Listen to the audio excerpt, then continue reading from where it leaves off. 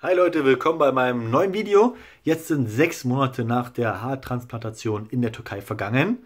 Und ähm, ja, ihr wollt wahrscheinlich einen aktuellen Stand von meinen Haaren sehen und den zeige ich euch gerne.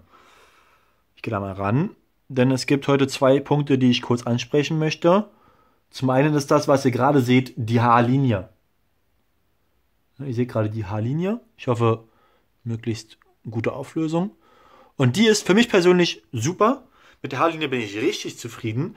Ich habe jetzt äh, mehrere YouTuber gesehen, die relativ aktuell auch die Haartransplantation haben machen lassen. Ungefähr auf dem gleichen Stand sind wie ich. Manche ein bisschen weiter, manche noch nicht ganz so weit. Und da gab es überraschend oft Leute, die mit ihrer Haarlinie unzufrieden waren. Ja, die haben mal von, von Haken gesprochen oder dass die Haare nur abstehen. Ähm, gut, meine Haare style ich natürlich immer so nach oben, hinten, seitlich so ein bisschen. Sprich, glatt habe ich die eh nicht. Dementsprechend weiß ich gar nicht, ob meine auch automatisch absteht. Ähm, ja, aber die Haarlinie an sich finde ich super gemacht. Ich sehe doch jetzt nicht die, die Haken, die andere YouTuber bemängeln. Wobei die aber auch an anderen Kliniken das gemacht haben. Vielleicht ist das klinikabhängig, weiß ich nicht. Ähm, ja, zur Haarlinie, wie gesagt, bin ich wirklich sehr zufrieden. Da haben die wirklich einen super Job gemacht. Was ähm, unter meinem letzten Video ja, kritisiert wurde, war die Haardichte im vorderen Bereich. Jetzt möchte ich mal sagen, wenn man mich so sieht, ja, so unterhalte ich mich mit Menschen, die Menschen sehen mir ins Gesicht, also auf Augenhöhe in der Regel, ne? Und ganz ehrlich, wenn ihr aus der Entfernung sich euch mit mir unterhaltet, klar, Geheimratsecken habe ich ja automatisch dagelassen, habe ich ja von, von mir selbst aus gesagt, die möchte ich nicht schließen. Die sind da. Der vordere Bereich ist etwas, etwas lichter. Etwas lichter. Ob der noch wirklich voll wird, weiß ich nicht. Aber im Großen und Ganzen würde man mich, wenn man mich so sieht, bilde ich mir jetzt ein. Ähm, ich kenne mich ja von früher, ich weiß, wie schlimm es vor, vor der OP aussah und jetzt, wie es jetzt aussieht. Würde ich persönlich eigentlich nicht denken, dass ich jetzt irgendwie große Haarprobleme hätte okay, wenn man von oben rauf guckt, sieht das Ganze natürlich ein bisschen anders aus. Ne? Da werde ich euch ähm, keine falschen Geschichten erzählen oder welche Lügen erzählen, denn das ist und bleibt ein Informationsvideo und Kanal. Und ähm, ihr sollt natürlich alles sehen, die Vor- und die Nachteile. Nachteil in Anführungsstrichen, denn zum einen sind da Haare und zum anderen habe ich eine Haartransplantation nicht nur im vorderen Bereich gemacht, sondern auf der ganzen Kopfoberfläche. Ne? Darf man mal nicht unterschätzen. Wenn man genug Spendermaterial hat, und das habe ich nicht, dann kann man zwei OPs machen und dann füllt man einmal vorne auf und einmal hinten. Ja? Wurde mir auch unter dem, unter dem Video von mir vorgeschlagen. Mein Spenderbereich ist aber nicht so groß, dass man zwei OPs hätte machen können. Oder man hätte halt zwei OPs machen müssen und jeweils nur 2000 Grafts einpflanzen sollen. Ich weiß allerdings nicht, ob 2000 Grafts für den vorderen Bereich gereicht hätten. Ne? Von daher habe ich mich ähm, komplett für den kompletten Kopf entschieden, damit ich überall ein bisschen aufgefüllt habe.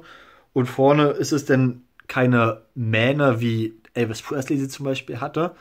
Die werde ich auch nicht bekommen. Ich habe aber grundsätzlich auch dünnes und blondes Haar. Das ist natürlich auch nochmal ein Punkt, den man einfach nicht unterschätzen darf bei dickem, dunklen Haar würde es nochmal ganz anders aussehen, ne, die ganze Geschichte. Das heißt, die generelle Haarstruktur eines jeden muss halt natürlich auch berücksichtigt werden. Genauso wie der Spenderbereich, wenn Leute genug, genug Spenderbereich haben, dann kann man auch zwei OPs machen, dann ist das wunderbar.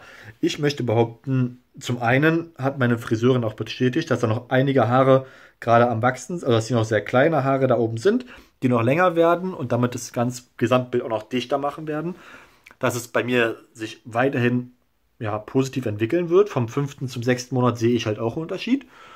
Ich hoffe, das geht noch ein bisschen so weiter. Und zum anderen habe ich, vergessen, was ich sagen wollte, gerade im Bezug. Ähm, ja, zum anderen, was war das andere? Ich weiß es nicht mehr. Gut. War, glaube ich, wichtig, aber schade.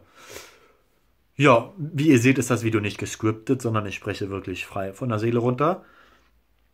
Ja, also der oder hm, was sage ich jetzt? Der letzte Punkt für mich persönlich.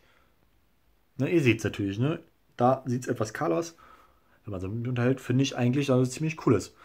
So, entscheidend ist für mich ja auch nicht nur das jetzige Ergebnis, so wie es da steht, sondern die Vorher-Nachher-Geschichte, ne?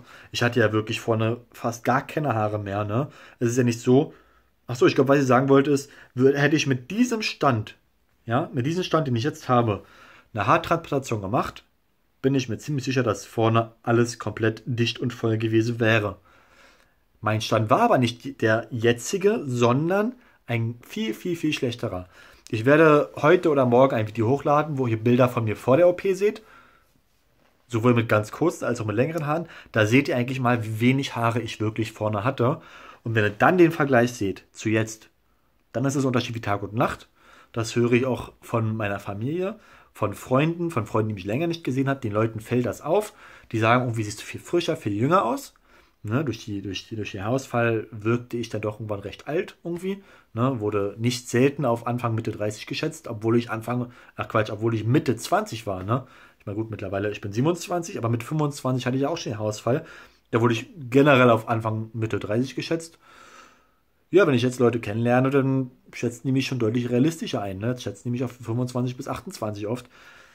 Da machen Haare doch wirklich viel aus. Dementsprechend, wie gesagt, bin ich sehr zufrieden, bekomme auch wirklich positives Feedback. Ähm, die Lücke hier oben soll natürlich noch etwas dichter werden. Noch habe ich sechs Monate Zeit. Ja? Die Haare können noch bis zu sechs Monate aus den Haarwurzeln rauskommen sie werden dicker, sie werden dadurch dichter und sie werden auch länger. Und ähm, ja, einfach noch ein bisschen Geduld mitbringen. Das war es erstmal von diesem Video. Ihr habt jetzt ähm, den neuen Stand. Ein Video wird wieder kommen nach sieben Monaten, sprich in vier Wochen circa. Und äh, in dem Sinne, euch alles Gute. Und wenn ihr Fragen habt, dann bitte immer kommentieren, positiv wie negativ. Ich nehme auch ähm, negatives Feedback gerne auf. Wenn ich der Meinung bin, oh ja, das ist wirklich ein wichtiger Punkt, bringe ich den auch gerne im nächsten Video. Ähm, ansonsten findet ihr den Link zur Haarklinik unten, wie immer unten äh, in der Videobeschreibung. Und wie gesagt, bei Fragen, Fragen, Kritik, positiv wie negativ, gerne in den Kommentaren. Ansonsten alles Gute und bis zum nächsten Video. Ciao.